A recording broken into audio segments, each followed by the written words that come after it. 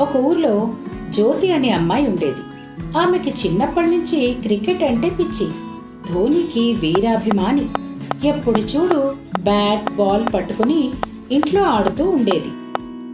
ఏందే గా ball bat పట్టుకుని ఆడతా? ఇట్లా ఇండ్లకొచ్చి గిన్నెలు తోమితే ఏమైందే? అమ్మా ఆడదంటే అబల కాదు తబలా. అది తబలా కాదు సబల. ఇది కూడా తెలియదు నువ్వు క్రికెటర్ అవుతావు నేను క్రికెటర్ని కాకపోయినా ఒక పెద్ద క్రికెటర్నే నేను పెళ్ళి చేసుకుంటా. వాళ్ళు ఇరగొడతా ఆన్నే ఉంటే. అమ్మో! ఒకసారి మున్నా అనే అతను చాలా రోజుల తర్వాత ఊర్లోకి వచ్చాడు చదువు పూర్తి చేసుకుని ఊరొచ్చాడు. జ్యోతిని చూడగానే మున్నా ఏముంది పోరి?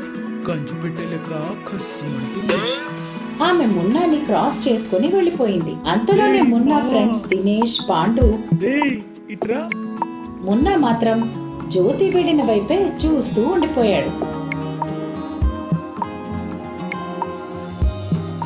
ఏయ్ రాక రాక పోరుడు ఊరుస్తుండని పూలదండలతో మందు సీసాలతో మేమొస్తే దొంగోడెవడో పరిస్థితికి పోయినట్టు అటే చూస్తున్నావు?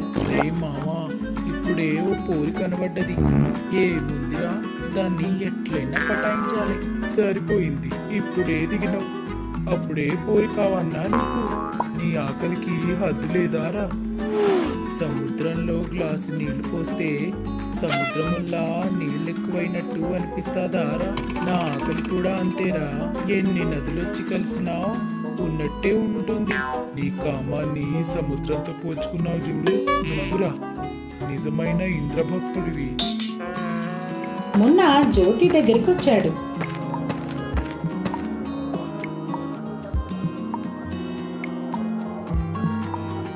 ఐఎమ్ సారీ ఓ పెద్ద క్రికెటర్ని చేసుకుంటా.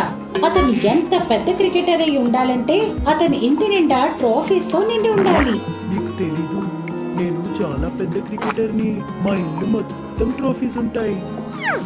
నిజమా? కావాలంటే రోజుకో ట్రోఫీ తెచ్చి చూపిస్తా చూడు. అయితే సరే ఇక్కడే కలుద్దాం.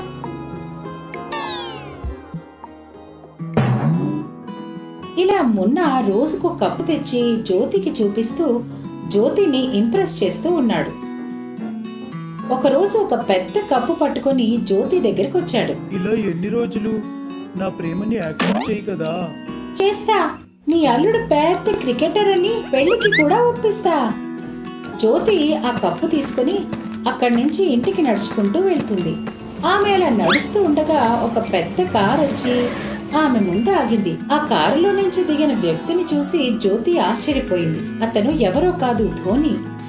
సార్ నేను మీకు పెద్ద ఫ్యాన్ సార్. ఇది నా లవర్ది సార్. తను కూడా చాలా పెద్ద క్రికెటర్ అంట. వాడి మొహం ఇది నా కప్ వారం క్రితం నా ఇంట్లో దొంగలు పడి కప్పులన్నీ ఎత్తుకెళ్ళారు. వీళ్ళెవరే? అవన్నీ ఎత్తుకొచ్చి ఉంటాడు. ధోని మాటలు విన్న జ్యోతి షాక్ అయింది. ఆ టీ స్టాల్ దగ్గరే ఉన్నాడు సార్. పదండి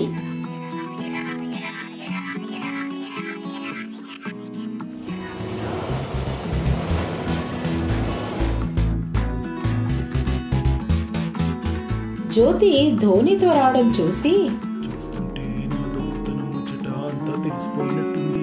ఏం చేయి పారిపోవాలి నన్నే మోసం చేయాలని చూస్తావా? నా ఇంట్లోనే దొంగతనం చేస్తావా?